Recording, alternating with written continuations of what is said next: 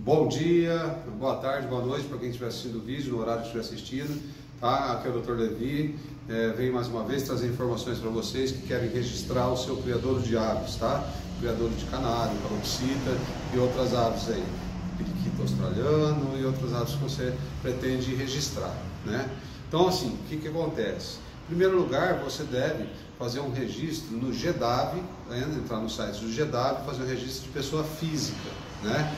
Depois que você faz o registro de pessoa física, aí você vai ter que fazer o registro do local do seu criador.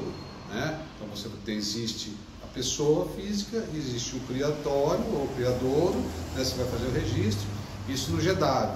Aí você vai entrar no site da Defesa Agropecuária. Da Defesa Agropecuária você vai juntar alguns documentos que são necessários, que a gente vai mostrar para vocês passo a passo no, no, vídeo futuro.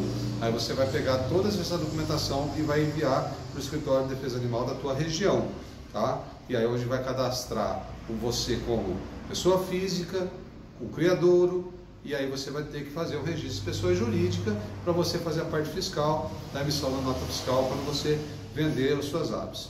Aí você está trabalhando de forma legal, né? Onde você vai conseguir através da sua nota fiscal, do seu criador, emitir a GTA, que é a guia de transporte animal.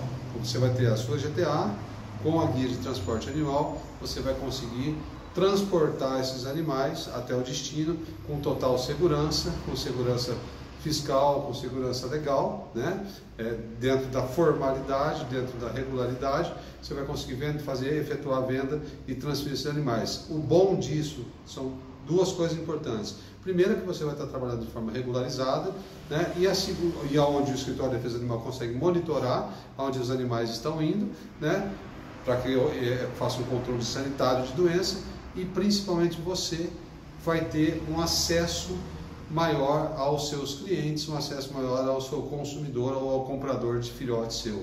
Ou seja, não vai ter mais aquele atravessador. Você vai conseguir emitir sua nota fiscal. Quem está comprando as aves vai saber da onde é a origem, que é o seu criador. E isso é legal por quê? Porque você aí que acorda cedo, trata das suas aves, trata com qualidade, tem aves de genética boa, de repente você está ficando aí oculto porque outra pessoa está comercializando suas aves. É legal que você tenha teu criador regularizado, registrado, para que os seus animais cheguem no consumidor com a procedência, com a origem do teu criatório.